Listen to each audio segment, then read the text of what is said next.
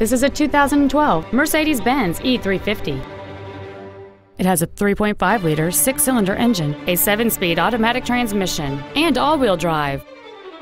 All of the following features are included. A sunroof, heated seats, a navigation system, a low tire pressure indicator, a leather-wrapped steering wheel, side impact airbags, rear seat child-proof door locks, memory settings for the driver's seat's positions so you can recall your favorite position with the push of one button, air conditioning with automatic climate control, and this vehicle has fewer than 36,000 miles on the odometer.